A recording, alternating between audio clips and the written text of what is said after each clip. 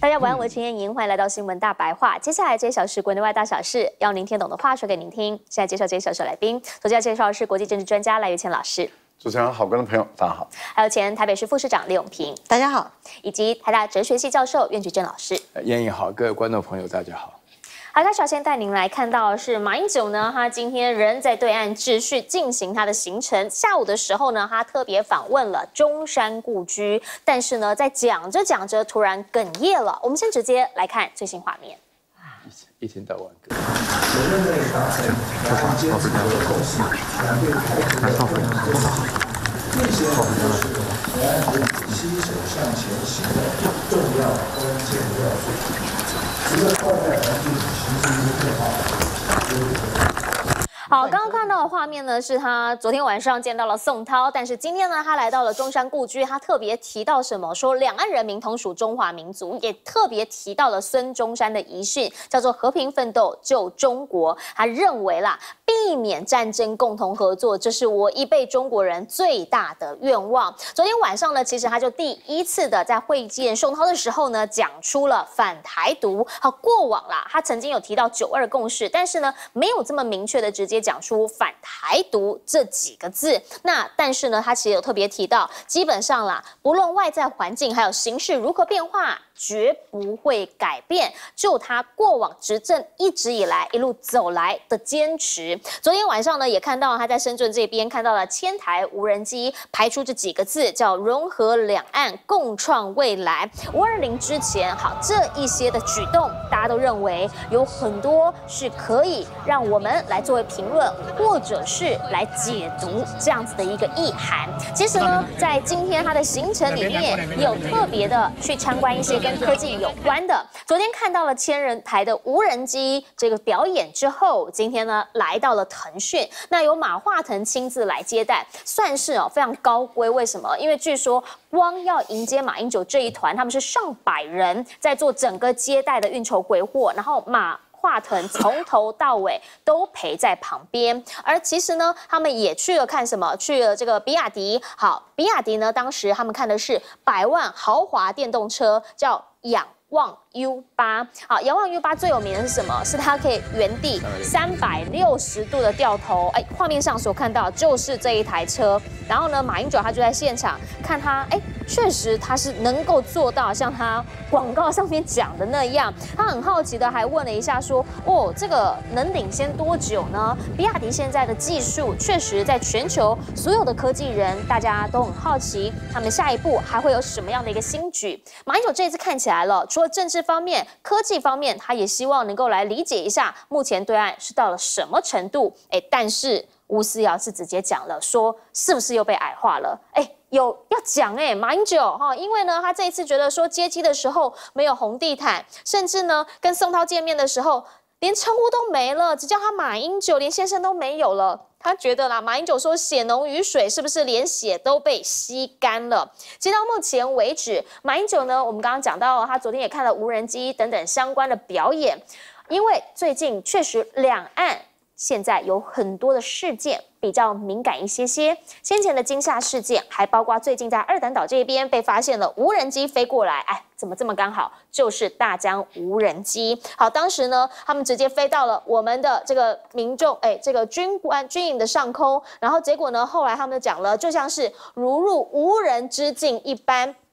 当然啦，邱国正被问到这件事情的时候，他就直接讲了，该打掉就打掉。那但是大家也想问呐，那先前讲的要配给外岛那些镭射枪等等，为什么这一次都没有拿出来用呢？大家想问的是，现在在我们的离岛这边，我们的前线这边，到底我们的态度是什么？当国防部长讲说，哎，应该要什么重新来讨论第一集啊等等的这一些作为的时候。我们的立场跟态度必须很明确。所看到的是金门，本来说啊，说要开始进行海上的实弹射击演习，结果现在说要暂缓了啊。原因是因为呢，怕说会不会有挑衅等等的意味。大家问，嗯，怎么这这个时候突然自己说了呢？啊，又后来看到了，说现在国防部主动告诉我们，明天对岸要。发射火箭，而且会经过我们的防空识别区。大家又想问啊，那不对啊，现在你会把这个东西特别挑出来讲？裴洛西那个时候，你为什么对岸朝着我们直接演习射飞弹飞过我们上空，你还要这边跟我？纠结到底那个是多高？是在大气层还是在什么层？算不算我们的领空？还记得那个时候大家很好奇，为什么是日本人告诉我们的吗？啊，还记得时空环境背景的不同，选举的时候他又会告诉你了，说，哎呦，现在呢他们的飞弹会突然警报响了啊？不是啦，那个是他们在发射飞弹演习等等。那一次啊。赵少康告诉大家说，因为刚刚好在选举之前投票之前，他说那一那一次的这个警报确实对当时的选举选情造成了影响，赢民调就大概是在。四趴左右，哎，上下本来是赢一到两趴，之后呢，民调跌四趴，这往来就多少就六趴嘞。那这里面影响最大的就在南部地区，这一些些我们都想问，如果啦真的说，哎，政治归政治啊，那军事的部分应该要专业的评估的话，要请教一下永平姐，您怎么样来看？好，原因是因为基本上大家都希望不要动到军事这一块，政治能解决，我们就由政治来解决。马英九现在到。到对岸去，大家想知道的是，他这一次他到底想表达是什么？今天看到中山故居，他直接哽咽。对，那个呃嗯，马英九前总统的问题，当然大家会很多讨论。不过我现在最想、最有感的就是赵少康先生的爆料哦，就是讲那个简讯呢，造成国民党的选情重创三到四趴，特别在南部。为什么？因为这件事情，我就得到。政坛内部的一个消息，就是为什么现在有人拱顾立雄当国防部长的呼声一直都不断？因为这件事情就是顾立雄的。政绩跟手笔，哈，我听到的说法是这样。那愿意配合民进党的政治选战到这种程度，假的简讯，大家还记得吧？哦，那天我也是在 T P T V B S 同样这个节目，我收到简讯，快笑死了。讲说中文写卫星，英文写 missile 飞弹，而且还写 air raid，还写空袭，简直莫名其妙。这种诈术。都使出来的人呢？如果真的因此而升官，太没有天理了。那这个就回到马英九为什么会流泪？因为民进党这种事都干得出来啊！当你这种事情都干得出来，然后不把民众的安全性命放在第一位的时候，眼看着两岸可以和平，对不对？孙中山。我们随着孙中山国父，我们最尊敬的国父的愿望，和平奋斗救中国，还没有完成，真的希望的时刻，两岸如果真的打起来了，如何的痛心，怎么不令人难过呢？那在这种时候，我觉得吴思瑶真的是现在如果民进党要选最无聊的政治人物，他大概排名为第一名吧。第一个，马英九上次带学生团一访大陆的时候，他们就没有铺红地毯呢。大陆现在不是只有马英九去没有铺红地毯，他现在基本很多人各种领袖要去，他都没有在铺红地毯嘞。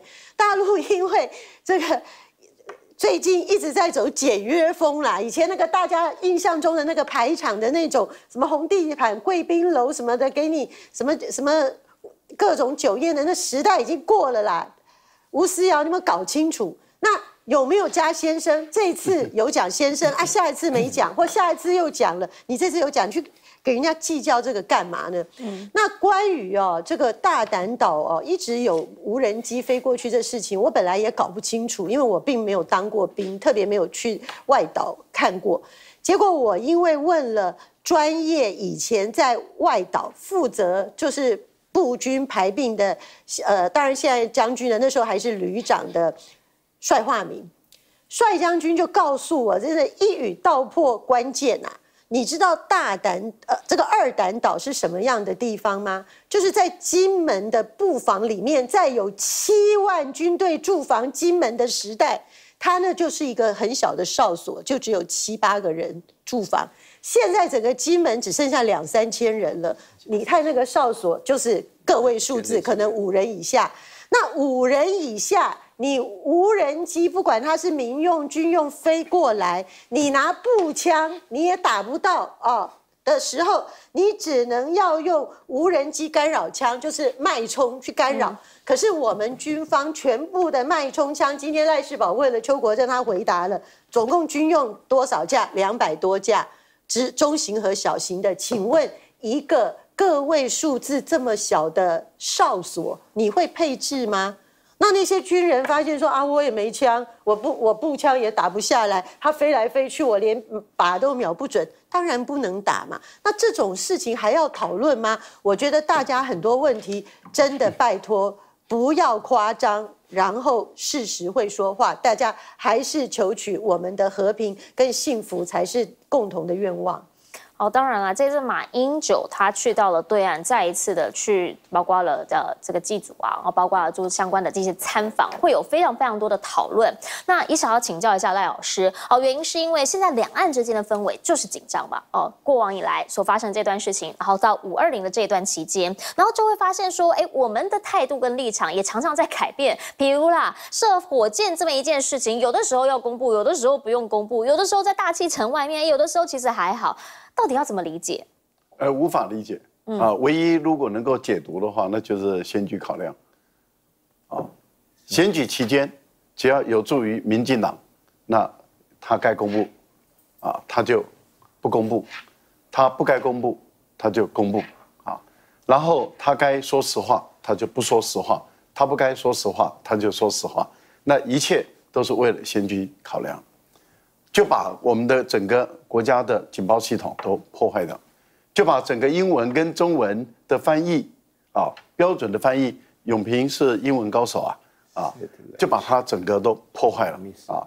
这个就是目前的民进党执政下，我们的国防部，我们的整个国家安全会议安全部门，就全部都把台湾乱了套。所以我觉得这是很可悲的一件事情。坦白说，他一切。只想选举，一切只想用各种不正当的手段，然后来继续掌握这个政权，啊，其心可疑啊！啊，我觉得马英九到中山先生的故居会哽咽，这真的是有感而发。我想我们广大的台湾的民众，我们的老一辈的人，我们都很清楚知道，由于满清时代的腐败、懦弱，然后最后台湾被迫被日本人。占领、割据，台湾沦为日本人的二等人。嗯，那中山先生革命就是要改变这个现状。现在真的是可以告慰中山先生的在天之灵了。为什么？因为现在日本不到中国大陆的三分之一了，在大陆的眼中，日本已经不算一个咖了。我们两岸之间已经开始今天的现代化的生活。我觉得。真的是我们洗刷了几百年来的这种耻辱，这个是很可告慰的事情。所以你会看到这个马英九他会哽咽，其实是有感而发，多不容易啊！可是目前我们又面对一个逆流，这股逆流就是台独。台独不但会给台湾带来灾难，也会给两岸的整个中国大陆跟台湾带来了灾难。为什么？因为台独故意的要图利于美国、日本，让两岸的中国人。彼此之间相杀，嗯，我觉得这个真的是其心又更为更为可比可议。所以马英九他从过去到现在，他已经明白的说，他就是要反台独，因为他知道台独对台湾的伤害实在是太大了。嗯，我觉得他特别去看啊大疆，然后腾讯跟这个比亚迪是其实是有意义的。嗯，为什么？因为他要透过他所带去的摄影团、记者团。把大陆的这些在深圳里面高科技的发展传回到台湾来，让台湾更多的、更广大的年轻人看到整个科技的发展在大陆，他们的格局规模是如此的大。所以，我们台湾的年轻人，你的心胸要大一点，眼界要宽一点，不要被困在这个小岛里面，然后眼光如豆。我觉得应该要让。胸怀两岸之间，让我们在全世界扬眉吐气。请教一下苑老师了，那马英九上一回跟这一回最大的差别就是，我们觉得他话讲的更直白了一些些哦。过往呢，他基本上上一次就强调九二共识嘛，宪法啊，他当总统期间什么都讲了，但这次明确的讲到他反对台独这么一件事情，不太一样。我非常奇怪啊，因为马英九比我大十岁啊，在我们那个时候受教育当中，反台独、做中国人、追求和平，那不是很正常的事情吗？我到今天也认为这是原则，我没有遇到过一个人反对的，我没有遇到一个人反对的，就是说是什么，尤其是最后啊，求和平啊，我没有遇到反对的。所以说马英九做的事情是个好事情啊，马英九是一介平民啊，什么啥也没有啊，什么都不是啊，受邀最高规格礼遇，你要了解啊，大疆、腾讯。比亚迪这些世界级的工厂，就不是说是做给台湾看的，就是说让马英九看啊，让马英九本身对于大陆施出善意，大陆对马英九施出善意啊。马英九在台湾的话呢，被骂得一塌糊涂的，没什么道理啊。对民进党讲的这些话的话呢，很无聊啊，所以真的是很无聊啊，我都不想多说。不过呢，有一点我觉得是比较难过的，我想要强调一下了，因为那天当场。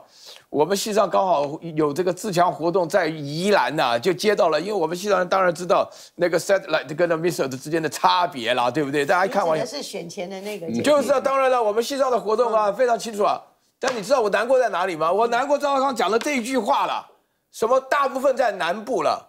我跟你讲啊，理性是公平的啦，嗯啊，这句话里面是有歧视南部的含义了。我跟你讲，你刚刚骂顾立雄的时候，我认为顾立雄很了不起啊。他能够预做判断的，你对南部，你当过政治人物，你对于南部人会做这种事情的选择，你了解吗？顾立雄凭什么？顾立雄，据我所知，他是不但是个北部人，还是个外省人呢。他怎么这么了解？他是天吗？我跟你讲啊，我们搞政治可以，千万千万不要歧视。这种观念的话呢，来讲的话呢，这种恶劣的手段如果有效，我们只能够觉得说是不知道。那个时候，当时大家都觉得很奇怪，怎么会出现这种情况？但这事后的话呢，因为其实赵康他讲过两件事情呢，一个就是在讲马英九了，相信习近平有什么错的呢？啊，我说什么合起来两个加起来，害他们原来赢会输，你们那种情况下赢了也不见得会好到哪去啊。关键是你要学马英九讲出来反台独、中国人求和平这个话，你讲得出来吗？我觉得马英九本身来讲，我以前对他的印象就是不是那么正面，不是非常好。但是我觉得马英九这次做出来他应该讲的事情，接受了邀请，而且连续两年。你刚问到我说，去年在湖南的时候，他会讲湖南话，也是除了到处哽咽没有改以外，大部分表现的基本上的话呢合情合理啊。他本身来讲会送出一个非常重要的讯号。马英九代表台湾热爱和平的人，不愿意打仗的人。我没有在台湾见过愿意爱打仗的人，所以这件事情非常清楚。我今天为了来上这个节目，为了谈这个消息，我跟我的同事在一起讨论了一下，他们都会觉得说，这个本身基本上的话呢，要认为这马英九在大陆做的是一件好事情啊，对不对？我们本身来讲的话，要做中国人有什么错呢？而且这人家的自由，他是一介平民，他跟我受的一样的教育，我们没有一个人是例外的。我坦白讲，连蔡英文都讲说我是读中国书长大的。那这个你可以否认吗？不能否认啊，对不对？那做中国人有什么不好呢？而这个是这是人家个人的自由啊，对不对？所以在这种情况下来讲的话，我觉得马英九本身接受，而且另外最重要的就是说，我事实上觉得说是看到大疆的无人机啊什么这种事情啊，尤其二胆岛啊遇到那无人机就猜是大疆的，那肯定中的嘛，因为十分之九啊，全世界的无人机百分之九十是大疆的。什么？你很买，你很难买到不是大。我家都有两台呀，我家都有两台大疆的无人机。对呀，就是我儿子毕业的时候人家送的礼物就是大疆无人机啊，哎，只是说我不太会用而已啊。好来，但。